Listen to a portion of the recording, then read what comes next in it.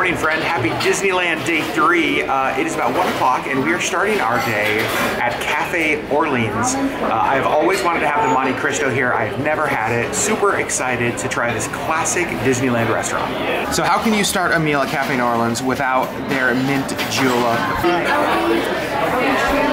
It's really good. It's super fresh. Oh yeah.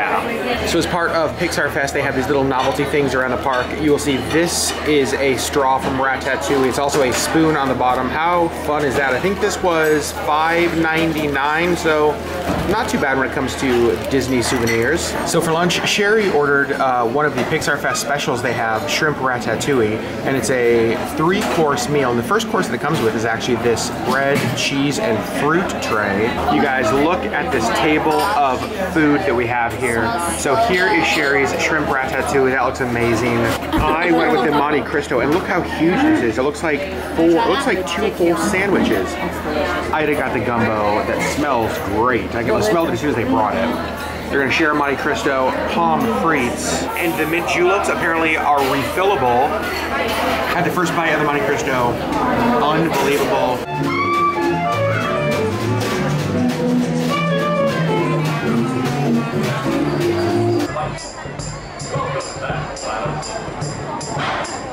Guys, complete amateur mistake. Uh, I did not bring an extra SD card, and at lunch, the SD card I've been filming on for the whole trip filled up. And so we did not get to show you the end of our lunch. Uh, Sherri had beignets. It was delicious. I gotta say, Cafe Orleans was really amazing. And so two thumbs up from all of us. It was so, so good. Now we are grabbing our place for the 3.30 parade, which starts here in about a half an hour. Pro tip, bring an extra SD card.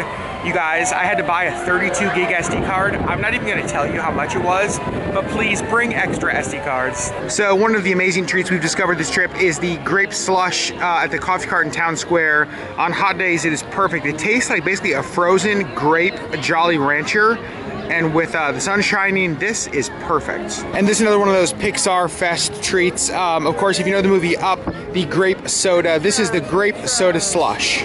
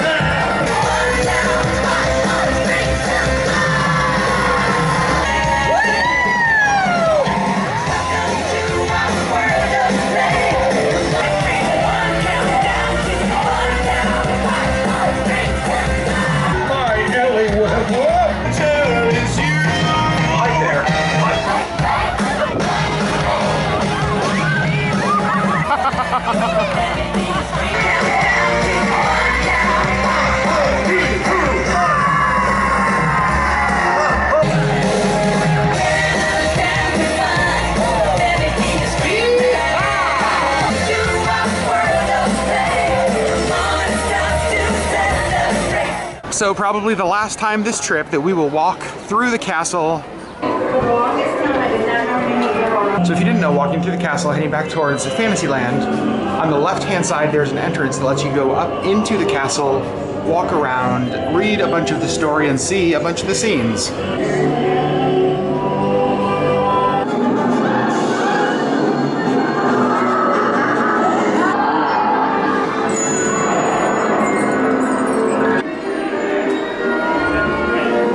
Happily ever after. Uh, this little boy dressed in the prince costume trying to pull out the sword might be the greatest thing I've seen all day at Disneyland. So we are back here at the Red Rose, and I am going to get Gaston's famous brew. It's an apple mango punch topped with passion fruit foam. That sounds amazing. But we already started drinking this, sorry. It's delicious, super refreshing. Uh, I thought it was gonna be more of an apple freeze down here, but it really is just like a mango apple juice. And then up top is that passion fruit whipped cream. It's really fresh, it is really good though. And as we get ready to leave Disneyland for the day, and for the last time this trip, uh, we stopped by Walt's apartment here above the fire department and say goodbye. For those of you who don't know, this was uh, the apartment Walt had for himself here in the park. And you'll see the light right there in the middle window, always on for Walt. Disneyland, as always, you are amazing and fun, and we cannot wait to come back and see you. Uh, if you have not been to Disneyland during Pixar Fest, come here and see it. Lots of great food, lots of great parades. Uh, everything that is going on is just a ton of fun. So thanks for joining us on another Disneyland adventure, and we'll see you in a couple days as we start our Disney cruise vlogs. Sherri, any Disney parting thoughts? We had a lot of fun. Another great trip to Disneyland. Yep. So before we left the park, we stopped by the Jolly Holiday and picked up these raspberry macarons. Again, part of Pixar Fest. Look how great they look. But you guys, this is just terrible. Disney, do you see the hair right there on top of the macaron? Blah. So we're probably gonna just not eat that part. We'll eat this part. It does look good, apart from the hair.